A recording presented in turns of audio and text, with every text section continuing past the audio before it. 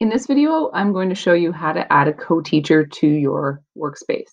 So I've created this workspace for my business class. So I want to add a co-teacher because I have a teacher who teaches this class with me.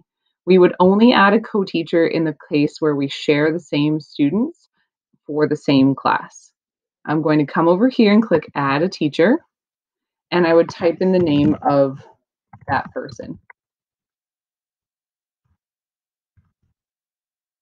When I click add teacher, they will add them to my workspace and you'll see their name come up here on the far side. And then that person now can edit, add, delete, and change my workspace. So you only want to add a co-teacher to your workspace if you are comfortable with them doing all of those things. And if that teacher shares the same students as you and is teaching in the class with you.